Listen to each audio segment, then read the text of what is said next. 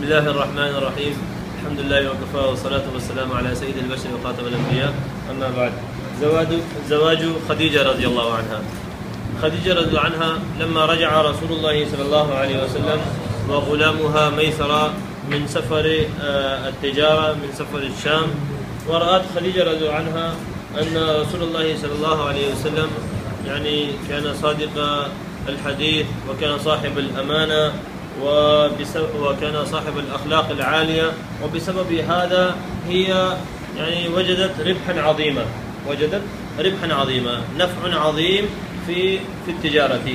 ومثل هذا النفع لم تجد من قبل. وهذا كله من بركات رسول الله صلى الله عليه وسلم. فهي علمت أن هذا يعني من خير ومن بركات النبي صلى الله عليه وسلم. فأرسلت إلى رسول الله صلى الله عليه وسلم رجلا يعني يخطب آه، خديجة رضي عنها مع الرسول صلى الله عليه وسلم. فذهب هذا الرجل وبلغ كلام خديجة رضي عنها إلى رسول الله صلى الله عليه وسلم. وهي قالت يا ابن عمي إني رغبت فيك لقرابتك ولشرفك في قومك ولأمانتك وصدقك وحسن خلقك. فبل يعني هذا الرجل ذهب وبلغه هذا الخبر عن خديجة رضي عنها ورسول الله صلى الله عليه وسلم أخبر عمه أبا طالب بأن بأنها تريد الزواج مع الرسول صلى الله عليه وسلم ورسول الله صلى الله عليه وسلم أيضا هو راض بذلك.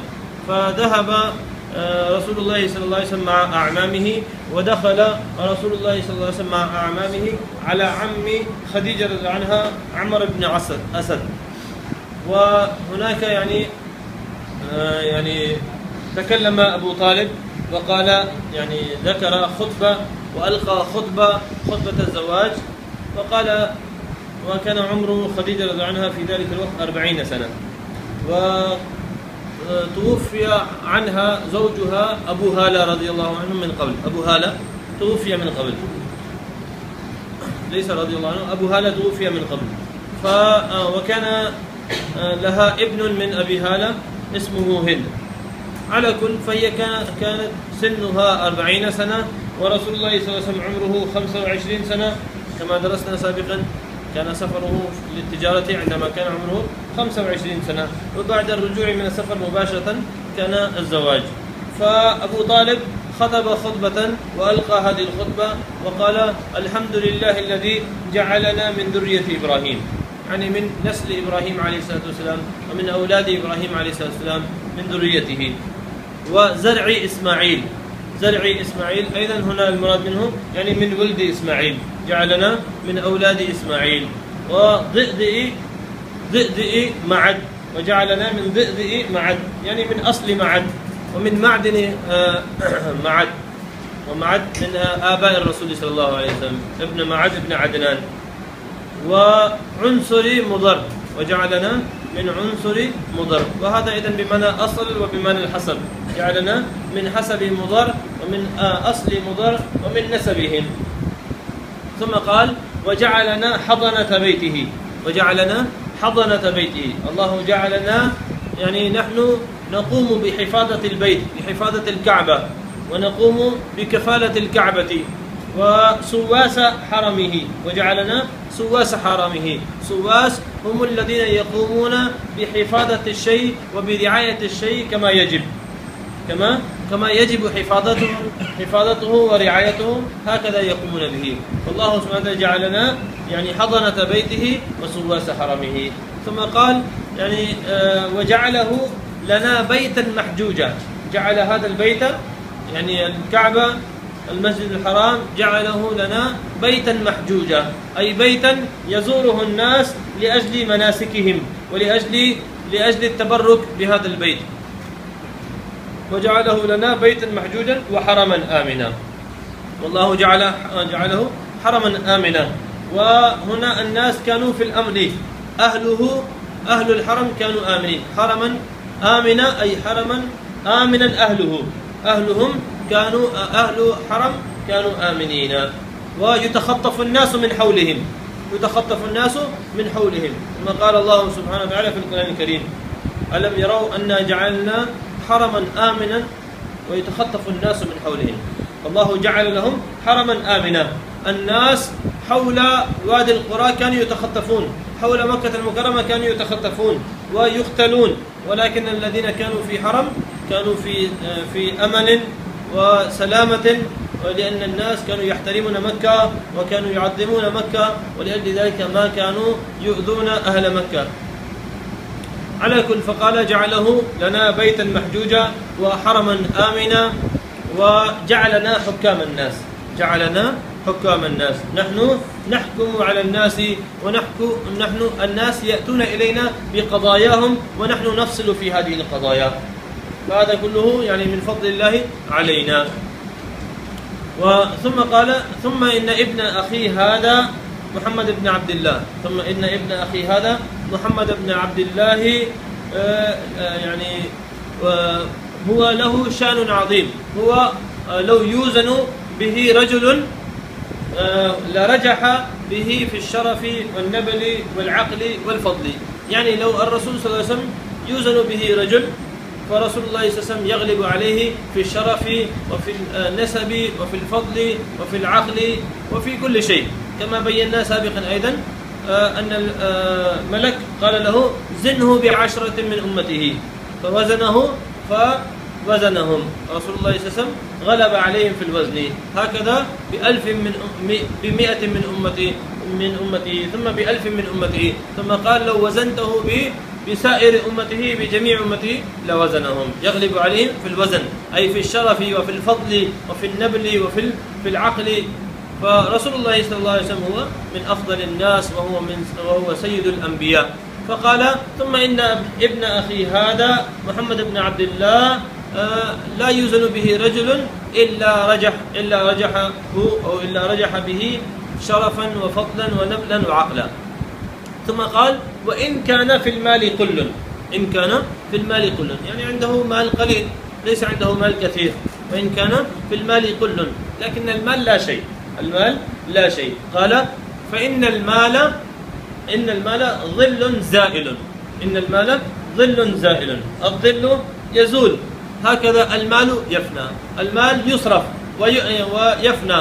ولا يبقى عند الإنسان أبدا. وأمر حائل. والمال أمر حائل عرض حائل وحاجز ومانع و وكذلك قال وعارية مستردة. عارية مستردة. كأن هذا شيء أعطاك أحد ثم يأخذ منك هذا. الله سبحانه وتعالى أعطاني المال ومتى ما شاء الله تعالى يسترد منا هذا المال. فهذا المال هو مال فان زائل و آه، وهو غاد ورائه. غاد ورائه. يأتي في الصباح ويذهب في المساء. يأتي في المساء ويذهب في الصباح. ثم قال والله وإن له إن له نبأ عظيم. في المستقبل إن له نبأ عظيم خبر عظيم. سيشتهر ابني هذا ويكون له شأن عظيم في المستقبل وله خطر جليل. يعني هو يمثل في الشرف وفي العلو ويكون له نصيب عظيم من الشرف. وثم قال يعني آه وقد خطب آه إليكم رغبة في ابنتكم خديجة. هو يريد أن يتزوج بابنتكم خديجة وقد بذل لها من الصداق كذا وكذا. وذكر 500 درهم. 500 درهم ذكر يعني صداقا صداق يعني مهر. مهر لخديجة رضي الله عنها. وعليه تم الأمر وعليه يتم الزواج. فقبل الإسلام أيضا كانوا يخطبون هكذا وكانوا يعقدون عقد الزواج ويتزوجون بالزواج. لأجل ذلك الرسول صلى الله عليه وسلم قال كلنا من نكاح كلنا من نكاح.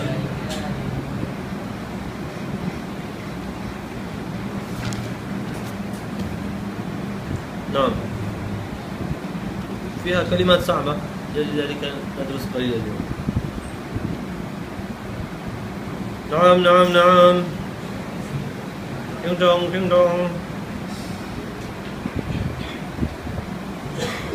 يشيلون هنا.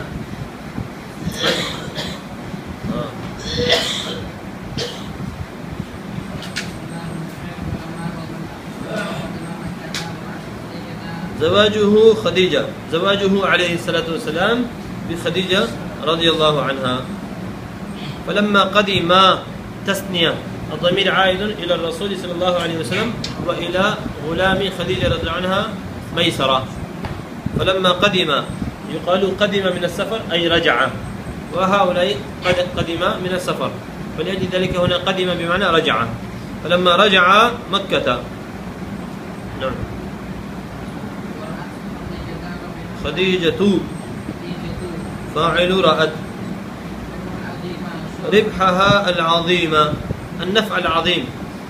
وجدت الربح العظيم والنفع العظيم. تعرفون الربح؟ عندنا أيضا أهل المطاعم عندهم ربح كثير. المطاعم في المدرسة مطاعم الطلاب عندهم ربح كثير ما شاء الله. على الأقل يعني يربحون آه، خمسة وعشرين ألف أو ثلاثين ألف. على الأقل. آه. سرت من الأمين أي فرحت فرحت من الأمين أي من الرسول صلى الله عليه وسلم لأنه كان صادقا وأمينا.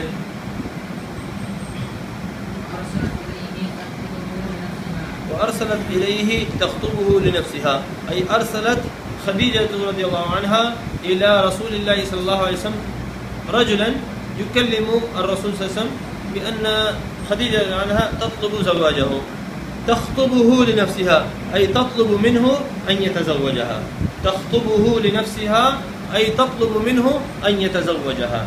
تطلب منه أن يتزوجها.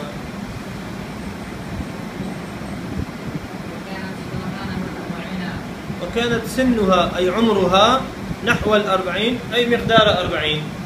النحو يأتي بمعنى المقدار أيضا.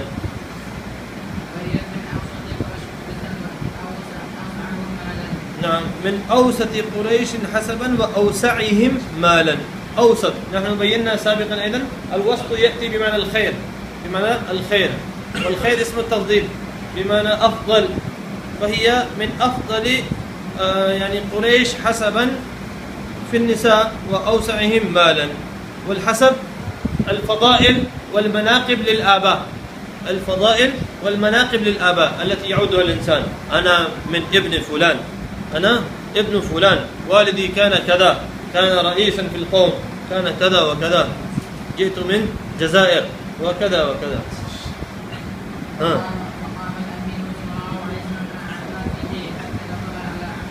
قام الأمين عليه الصلاة والسلام مع أعمامه جمع عم مع أعمامه. كما أن أبا طالب كان مع رسول الله صلى الله عليه وسلم هكذا أعمامه الآخرون أيضا كانوا معه. حتى دخل على عمها. دخل على أحد أي زاره. زاره. حتى دخل على عمها أي عم خديجة رضي الله عنها. واسمه عمرو بن أسد.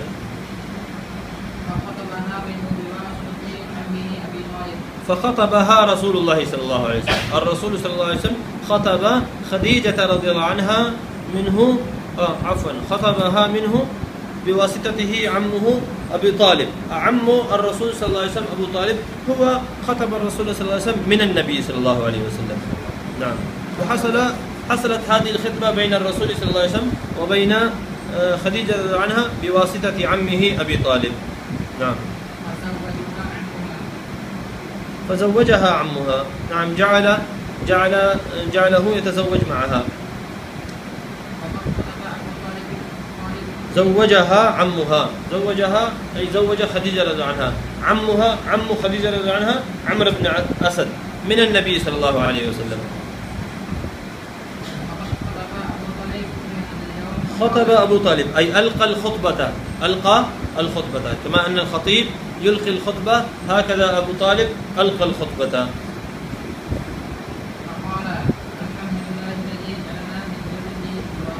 جعلنا من ذرية إبراهيم أي من نسل إبراهيم ومن أولاد إبراهيم عليه الصلاة والسلام. والذرية ذرية أصلها آه، يعني بالهمزة. ذريئة ذريئة. أصلها ذرية. نعم. وزرع إسماعيل أي من ولد إسماعيل من ولد إسماعيل من ولد إسماعيل. كذلك يعني من أولاد إسماعيل نعم. وضئ مع ضئ بمعنى أصل وبمعنى معدن بمعنى معدن وبمعنى الأصل. يعني كذلك بمعنى الأولاد. والمعدن مكان كل شيء فيه أصله. مكان مكان كل شيء فيه أصله يسمى معدن. فضئ معد بمعنى أصل معد. وهذا إذا بمعنى نحن من أولاده. نعم. وعنصر مضر. وجعلنا من عنصر مضر. عنصر أيضا بمعنى أصل وبمعنى حسب. من عنصر مضر يعني من أصل مضر ومن حسب مضر. والحسب كما بينا يعني الذين عندهم فضائل ومناقب يذكرونها. فالمقصود من هذه الكلمات الآباء نحن من أولادهم. من أولادهم. ولكنه كان صاحب الفصاحة فاستعمل كلمات مختلفة لأن تكرار كلمة واحدة تكرار كلمة واحدة في كلام العرب خلاف للبلاغة والفصاحة.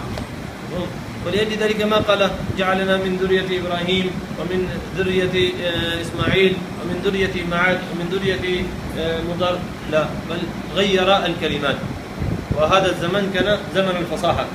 زمن الفصاحة. كما ذكرنا أن الناس كانوا يعلقون يعني آه، يعلقون أبياتهم إذا يعني قبلت عند أهل مكة في الكعبة المعلقات السبعة مشهورة. نعم. وجعلنا حضنة بيته أي حفاظ بيته. جعلنا حضنة, حضنة بيته أي حفاظ بيته. نحن نحفظ بيت الله. وجعلنا من كفلة من كفلة بيته الذين يتكفلون بالبيت يعني بالكعبة. وصواس حرمه. جعلنا صواس حرمه. صواس هو هم الذين يقومون برعاية شيء كما يجب. الذين يقومون برعاية شيء كما يجب. فهؤلاء كانوا يراعون البيت يراعون الحرم كما يجب. يعني كانوا يهتمون يهتمون بالبيت ويحافظون عليه.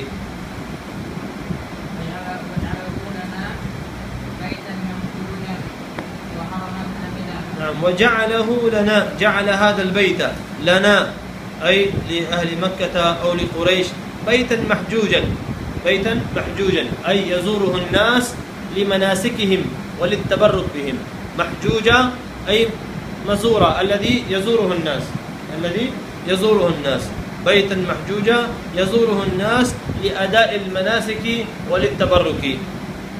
وحرما آمنا وجعله حرما آمنا أي مكانا معظما أهله آمنون فيه. حرم؟ مكان معظم. حرم هو مكان معظم. آمنا أي آمنا أهله. وجعلنا حكام الناس. أي جعلنا فياصل الناس. جمع فاصل. جعلنا فياصل الناس. جمع فاصل. الذين يفصلون في قضايا الناس. الناس يأتون إليهم بقضاياهم. وهؤلاء يحكمون في قضاياهم. ويقضون ويفصلون في قضاياهم فهم حكام الناس. مثل القاضي. القاضي يأتيه الناس يأتيه الناس لأجل أن يقضي القاضي في أمرهم. فهكذا كانوا يأتون إلى هؤلاء للقضاء وللحكم. ثم إن ابن أخي هذا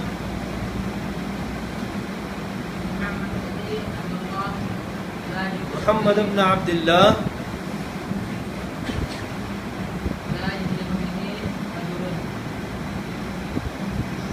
نستطيع أن نجعل هذا محمد بن عبد الله وكذلك محمد بن عبد الله. إذا نقدر فعل أعني فيكون محمد بن عبد الله. وإذا نجعله بدلا من آه، ابن أخي كذلك يكون منسوبا.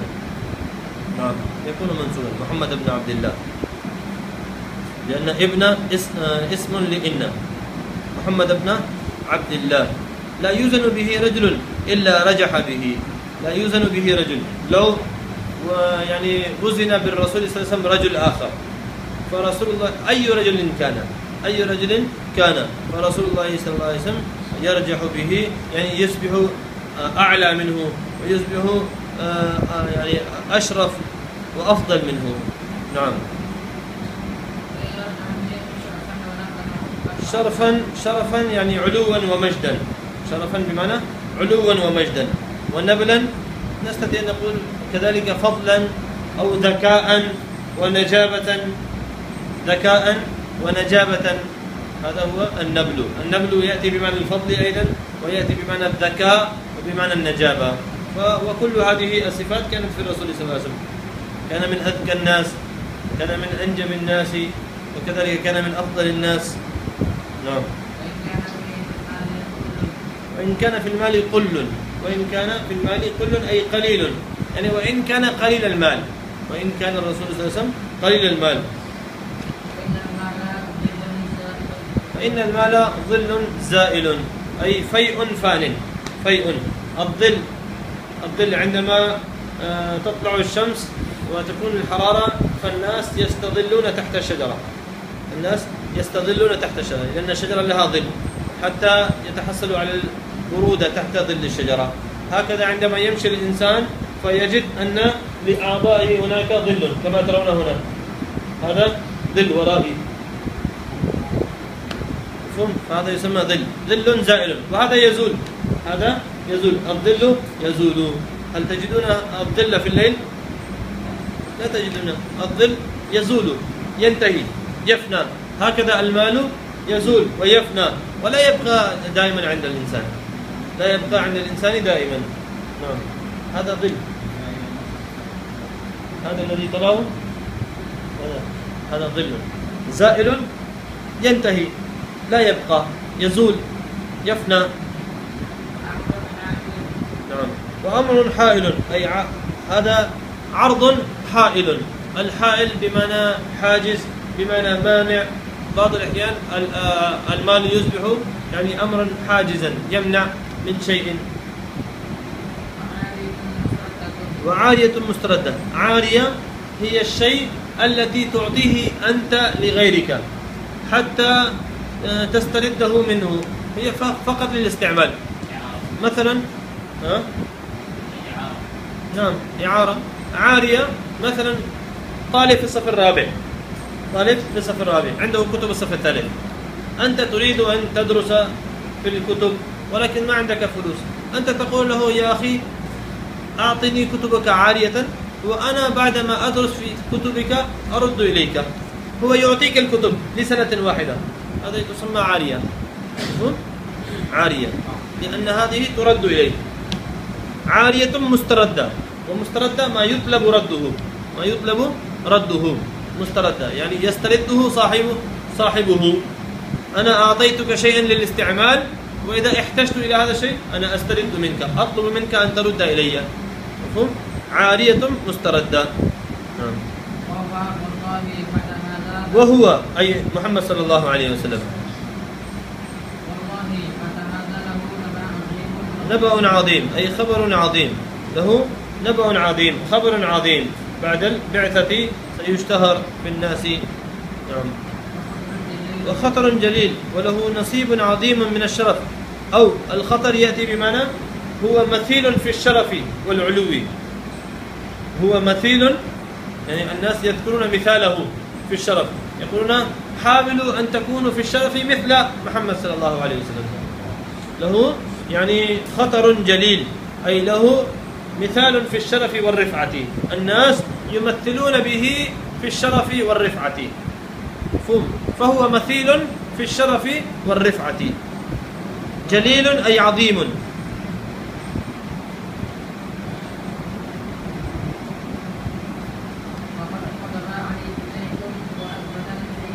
وقد خطب إليكم رغبة في كريمتكم خديجة.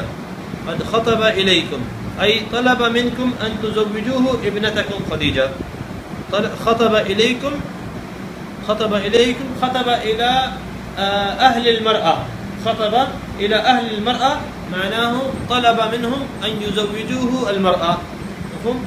خطب إليكم يعني طلب منكم أن تزوجوه ابنتكم خديجة. رغبة في كريمتكم أي طمعا في كريمتكم. المراد من كريمة ابنة ابنتكم. رغبة في كريمتكم أي طمعا في ابنتكم خديجة. طمعا في ابنتكم خديجة. وحرصا على الزواج بابنتكم خديجة. نعم. كذا وقد بذل لها من الصداق أي أعطى لها من المهر كذا وكذا. وهو 500 درهم. المهر كان 500 درهم. وعلى ذلك تم الأمر. أي تم الزواج.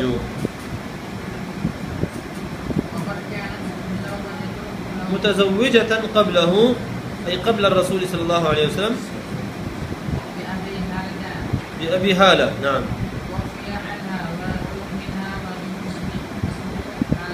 هند.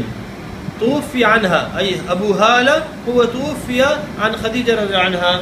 يعني لما كانت خديجة رضي عنها في نكاح أبي هالة أبي هالة مات. أبو هالة مات. وله أي لأبي هالة منها أي من خديجة رضي عنها. ولد اسمه هند. اسمه هند. نعم.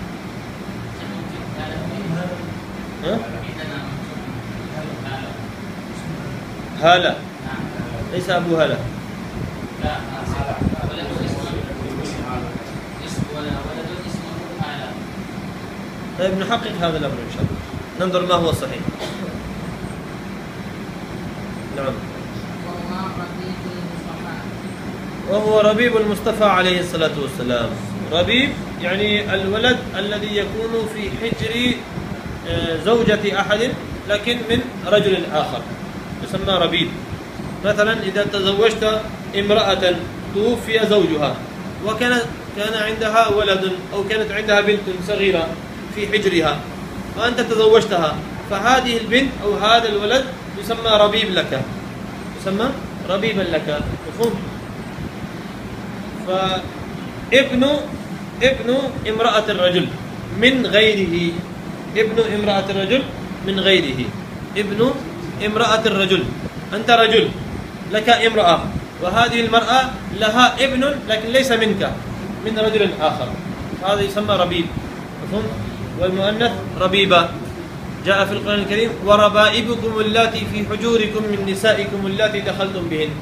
وربائبكم اللاتي في حجوركم من نسائكم اللاتي دخلتم بهن. يعني إذا تزوجتم امرأة وأنتم جامعتموهن ولهن بنات. لا يجوز لكم أن تتزوجوا بهذه البنات. مفهوم؟ فإن لم تكونوا دخلتم بهن فلا جناح عليكم. فإن لم تكونوا دخلتم بهن تزوجتها وطلقتها بدون الجماع. الآن جاز لك أن تتزوج بربيبتك لأنك ما جامعت أمها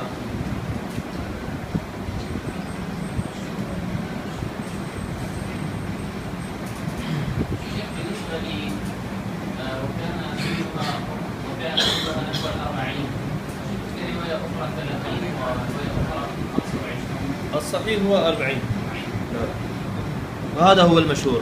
وهذا دليل على أن الرسول صلى الله عليه وسلم لم يكن امرأ شهوانيا كما يقول المستشرقون. المستشرقون يقولون محمد صلى الله عليه وسلم هو منع أمته من الزواج بأكثر من أربعة وتزوج بنفسه في وقت واحد بتسعة من النساء. فكانوا يقولون أنه كان رجلا شهوانيا يحب الشهوة العياذ بالله.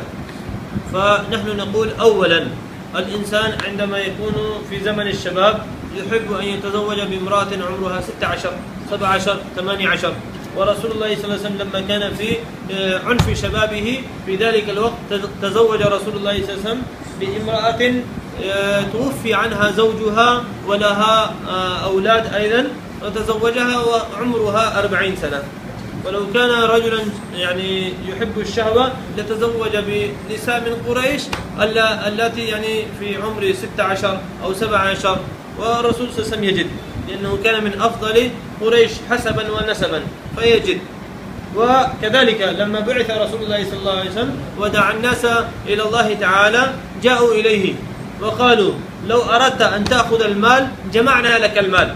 جمعنا لك المال وأعطيناك المال وتصبح من آه، يعني أوسع الناس مالا في قريش. وإن أردت أن تتزوج النساء فاختر من أي نساء قريش شئت. فاختر من أي نساء قريش شئت. ولكن اترك الدعوة إلى الله. اترك الدعوة إلى الله. لا تسب آلهتنا. ولكن الرسول صلى الله عليه وسلم لم يقبل هذا. فلو كان رجلا يحب الشهوة لاختار هذا. وقال وقال وقالوا كذلك اختر عشرا من النساء شئت. من قريش من أفضل النساء قريش ولكن الرسول صلى الله عليه وسلم لم يختار. ثم رسول الله صلى الله عليه وسلم ما تزوج بامرأة باكرة إلا عائشة رضي الله عنها وذلك بأمر الله تعالى. هذا إذن بأمر الله تعالى.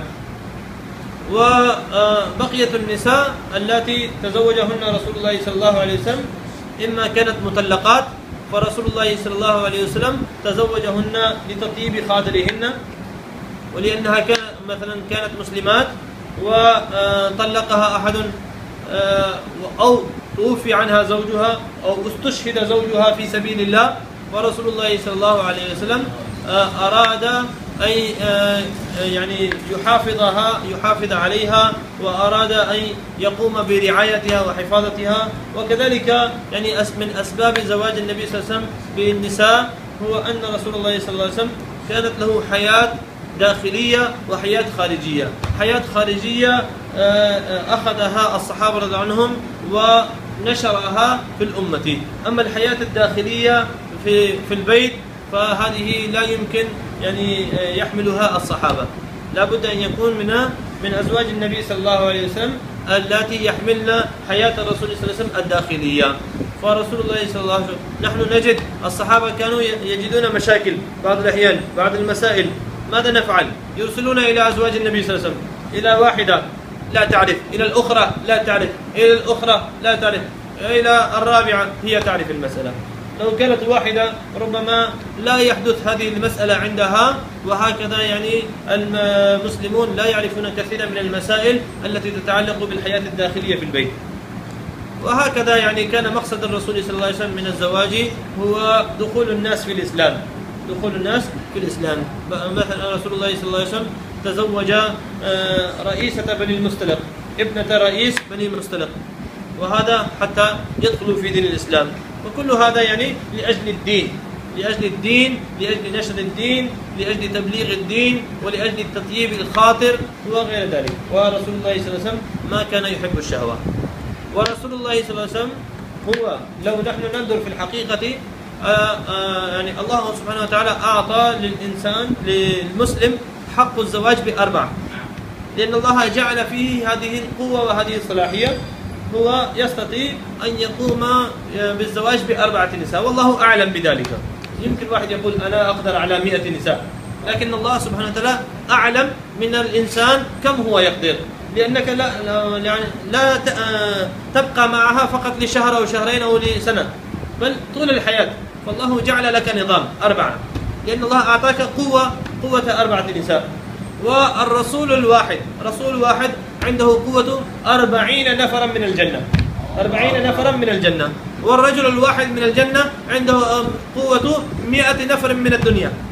مئة نفر من الدنيا. فالرسول الواحد عنده قوة أربع آلاف رجل.